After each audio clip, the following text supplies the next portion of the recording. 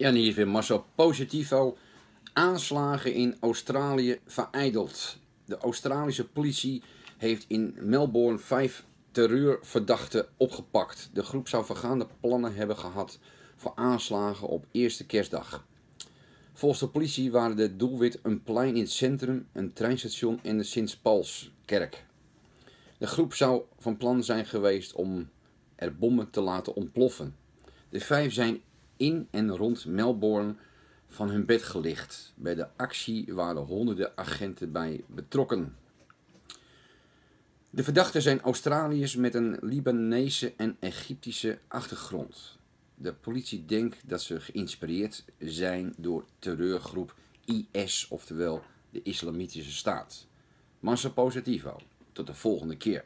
Hopelijk met wat beter nieuws. Want het regent allerlei terreurdreigingen en aanslagen.